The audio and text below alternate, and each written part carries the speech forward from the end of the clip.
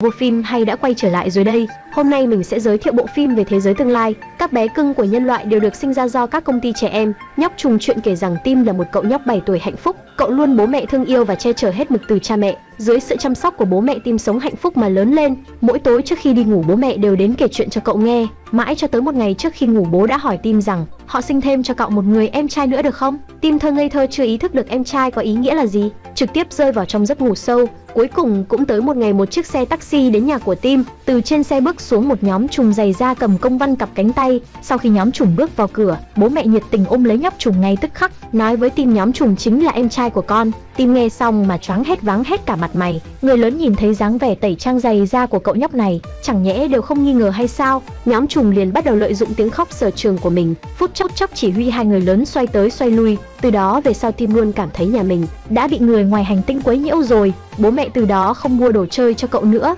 mà đồ chơi của nhóc trùng thì cứ nhiều lên từng cái một. Thậm chí những mẩu chuyện trước khi ngủ bố mẹ cũng chẳng kể cho cậu nghe nữa. Điều này làm cho Tim vô cùng khó chịu rồi tới một hôm, tối đến Tim phát hiện bố mẹ đều mệt tới mức ngủ luôn. Tim liền lấy súng ngắn đồ chơi của mình ra, chuẩn bị cho nhóc trùng em trai mình một bài học. Không ngờ sau khi cậu xông vào phòng của em trai, mới nhận ra nhóc trùng thật ra không phải là một em bé, mà chính là một nhân viên của công ty bé cưng. Bọn họ tới đây là muốn cướp đi nguyên bản sự sùng ái thuộc về Tim, đồng thời nhóc trùng còn tỏ ra ngạo mạn, bản thân sẽ lấy đi tất cả sự yêu thương của bố mẹ Tim, căn bản là sẽ không bao giờ chia sẻ với cậu bé Tim nữa. Do Tim đã biết được bí mật quan trọng của nhóc trùng, nhóc trùng cũng sẽ không giấu giếm gì với cậu bé Tim nữa. Sau khi bố mẹ đi làm nhóc trùng triệu tập những đứa trẻ gần đó, tới bọn họ cùng nhau chia sẻ những tình báo mới nhất, đó chính là một công ty cuốn con công trạng phát triển nhất nhanh, trước mắt đang với tốc mắt đang với tốc độ khó tin, chiếm giữ sự sủng ái của bố mẹ đây là một thị trường to lớn. Trong lúc bọn họ đang nghiên cứu cách đối phó, cậu bé Tim cũng đã nghĩ đến một biện pháp khác, đó là dùng máy thu âm thu âm giọng nói họ lại, đến chứng minh với bố mẹ những đứa trẻ này đều đang có vấn đề. Nhưng lúc cậu bé Tim thu âm xong chuẩn bị rời đi thì hành động của cậu lại bị mấy đứa nhóc phát hiện, để giữ lại danh tiếng của mình cả đám trẻ con, lái chiếc xe trẻ em chặn trước mặt cậu bé Tim, không để cho cậu bé Tim nhìn thấy bố mẹ trước, nhưng trẻ con dẫu sao về mặt thể lực vẫn còn yếu kém. Sau một hồi vật lộn nhóm trùng cuối cùng lại lọt vào tay của Tim. Trong lúc Tim đang chuẩn bị lấy bàn đu dây làm cung tên, bắn nhóc trùng ra khỏi thì đột nhiên bố mẹ đẩy cửa bước vào. Họ lớn tiếng cảnh cáo bỏ Tim để em trai xuống, không còn sự lựa chọn nào khác cậu chỉ có thể làm theo. Kể quả băng ghi âm lại văng ra ngoài đường lớn, lập tức bị xe hơi ép thành nhiều mảnh nát bét. Bố mẹ cho rằng Tim đang chĩa mũi nhọn vào em trai mình, để Tim học được cách chung sống hòa thuận với em trai. Thế là cậu bị bố mẹ giam cầm ở trong nhà một thời gian dài, chỉ khi nào học được cách sống hòa thuận mới có thể ra ngoài. Điều này làm cho Tim triệt để thất vọng với bố mẹ mình. Mỗi ngày cậu suy nghĩ ngồi trên giường ngây người, nhìn có vẻ như không lâu nữa thì sẽ mắc bệnh trầm cảm. Nhóc trùng cũng nhìn không nổi nữa hôm đó nhóc chủ động tìm đến Tim, nói với cậu về chuyện bí mật quan trọng của mình. Nhóc nói bản thân đúng là không phải em bé bình thường, mà chính là cán bộ cấp trung của công ty trẻ em toàn cầu. Đến nhà tin là để thi hành một nhiệm vụ vô cùng đặc biệt. Nếu như có thể hoàn thành nhiệm vụ lần này, nhóc về công ty sẽ được thăng chức tăng lương. Cơ bản chẳng cần ở nhà Tim giành giật bố mẹ với Tim. Sau cùng nhóc trùng còn lấy ra một cái núm vú giả đứa cho Tim. Nhóc bảo muốn biết mấy em bé đều sinh ra bằng cách nào, thì niệm ngay một câu thần chú với mình. Vì tò mò Tim cũng thật sự làm theo nhóc trùng. Niệm lên xong thì ngậm núm vú giả một cách mãnh liệt. Kết quả ý thức của hai người chớp mắt chuyển đến tổng bộ công ty trẻ em. Ở đây các em bé ngập tràn nhiều vô kể. Theo sau sự hướng dẫn của nhóc trùng đến, thực ra tất cả trẻ em trên thế giới không phải được sinh ra, mà đều do công ty trẻ em sinh sản ra. Lúc xuất khỏi dây chuyền sản xuất thì sẽ làm khảo sát giám định. Đứa bé thích cười thì sẽ làm mới bộ nhớ, rồi đầy xuống nhân gian cho bố mẹ nuôi dưỡng khôn lớn. Đứa trẻ không thích cười thì bị đưa tới nơi làm việc, mà những đứa trẻ này chỉ dựa vào uống một loại, uống sữa bột mãi mãi không lớn giữ lại dáng vẻ của trẻ con, bởi vì trẻ con có một loại này sinh thuộc tính, có thể khống chế tinh thần và trí tuệ của người lớn, khiến cho bọn họ phải xoay tới xoay lui vì chúng. Sau khi giới thiệu xong xuôi nhắc lại chỉ bản đồ phần trăm của sự yêu thương trên tường cho biết, gần đây một công ty cún con xuất hiện dày đặc không lâu sau,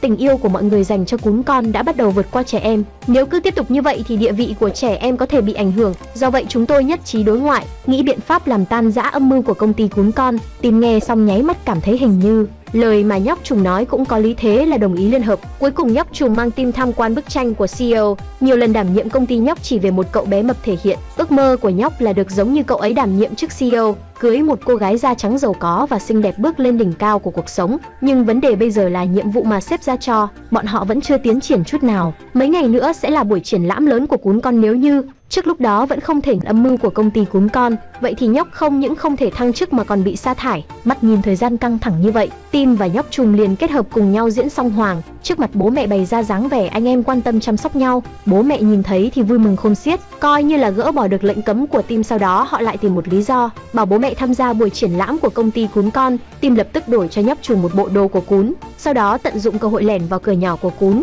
thành công mở ra cánh cửa lớn thông qua nội bộ của công ty này. Sau đó bọn họ đến được nội bộ của công ty cún con, tìm thấy một tập sách viết kế hoạch thương nghiệp của cún con loại mới. Hai người tự cho rằng ăn cắp được tình báo quan trọng vừa chuẩn bị rời đi, thì bị bẫy của đồng sự trưởng thiết kế công ty cún bắt được. Đồng sự trưởng kêu bảo mẫu to lớn mang họ đến trước mặt mình, hùng hồn tuyên bố dã tâm của bản thân thì ra mấy năm trước, ông ta chính là đứa trẻ CL mập mập tài giỏi của công ty trẻ em, nhưng đột nhiên có một hộp sữa bột thần kỳ không còn tác dụng với ông ta, khiến cho đứa trẻ mập mạp bắt đầu trưởng thành nhanh chóng. Cuối cùng hội đồng quản trị chị đã vô tình thẳng thắn khai trừ đứa trẻ đó, sau đó cho người mới là chị bốn mắt thay thế vị trí ông ta. Điều này làm cho ông ta oán hận trong lòng sau khi đến xã hội loài người, mỗi ngày đều nghĩ làm sao để trả thù công ty trẻ em, thế là tạo ra công ty cuốn muốn lật đổ công ty trẻ em đó. Sau đó đứa trẻ mập lại lấy trong ba lo chen người tim, sữa bột thần kỳ của nhóm trùm, chuẩn bị dùng phương pháp phối chế của sữa bột thần kỳ, chế ra những con cún dễ thương không bao giờ lớn lên. Sau đó đứa trẻ mập sắp xếp bảo mẫu to lớn trông coi nhóc trùm AVF team, ông ta thì đi máy bay chuẩn bị đến Las Vegas mở họp báo cún mới.